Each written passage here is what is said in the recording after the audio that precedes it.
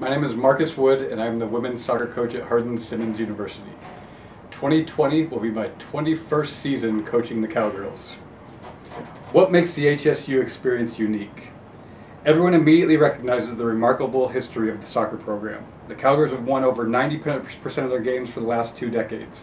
The Cowgirls have an average record of a little better than 18 wins and two losses for 20 straight years.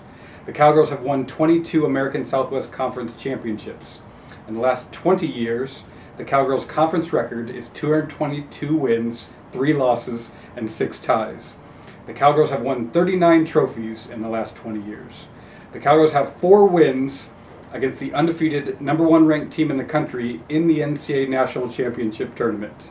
The Cowgirls have been to 19 NCAA National Championship tournaments and have the only NCAA Women's Soccer National Championship in Texas. But the Cowgirl experience is about much more than winning.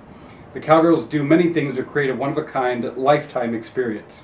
The Cowgirls have traveled internationally on six occasions. The Cowgirls have been to Germany, Holland, England, Spain, Costa Rica, Italy, France, Monaco, and Switzerland. In Costa Rica, the Cowgirls tied the U20 national team 2-2 and defeated the under-17 national team. In the most recent trip, the Cowgirls attended five World Cup games, including front row seats to watch the U.S. play in Paris. If you choose Hardin Simmons University, you'll be surrounded by teammates who you will genuinely respect and admire.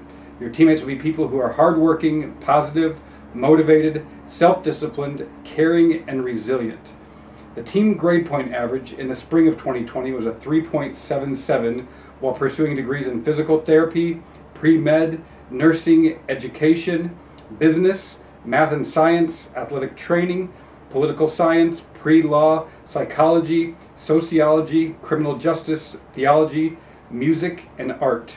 16 student athletes achieved a 4.0 grade point average in the spring of 2020.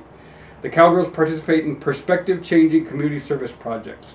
The most recent graduating class worked with Disability Resources, Read Across America, the Special Olympics, Fight to Win with Lily James, Walk for Autism, community service with youth soccer players in Paris, France, and greeting Craig middle schoolers as they walked into school.